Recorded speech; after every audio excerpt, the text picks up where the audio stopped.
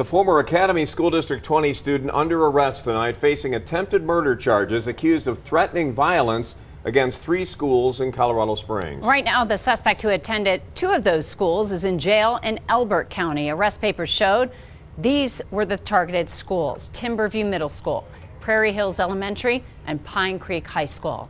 News 5's Lindsey Jensen, Jensen explains how authorities found out about these plans and when they told the district.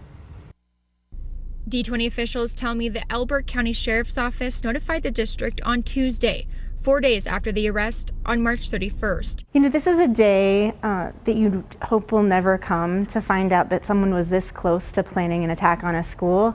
My whole body went numb and sort of cold, and I think that's the best way to describe how this feels. According to arrest papers, William Whitworth, who identifies as Lilly, admitted to planning an attack on Prairie Hills Elementary, Timberview Middle, and Pine Creek High Schools. According to D20 officials, Whitworth attended three of their schools between 2014 and 2016, but only for a few months at a time. Questions that we're hearing from our community saying, well, what did we know about this student? And that's, that's in their student file, and so that's protected information. According to the Elbert County Sheriff's Office, it was Whitworth's sister who made the call to law enforcement. I spoke with a mental health professional who says this was the right move. Even though you might have been sworn to secrecy, or maybe it's really scary to report, uh, we always want to side, err on the side of caution and we want to protect people. We want to save lives. The arrest affidavit shows Whitworth told a deputy they were only about a third of the way from following through with a threat. Whitworth also said they've been planning for a month or two. Immediately when we found out, we were so thankful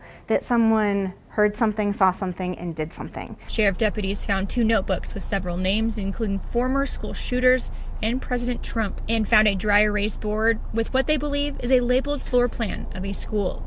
Deputies did not find firearms inside the house, but they did locate firearm cleaning liquids. Now, Cortez says the district is talking about what they can do better to help students and staff. And so we could see some new learnings come from this. It's a little too early to tell, but um, it would be foolish for us not to learn from this. For News 5, I'm Lindsey Jensen.